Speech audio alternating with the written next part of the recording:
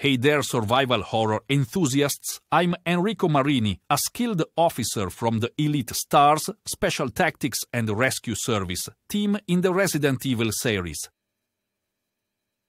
With a sharp mind and unmatched leadership, I strive to guide my team through the nightmarish outbreaks caused by the Umbrella Corporation. My dedication to justice and unwavering courage make me a crucial figure in the fight against bioterrorism. Facing the horrors unleashed by Umbrella, I stand firm, ready to lead and protect. If you enjoyed learning about Enrico Marini, smash that like button, subscribe for more Resident Evil lore, and comment below which game character you'd like to explore next.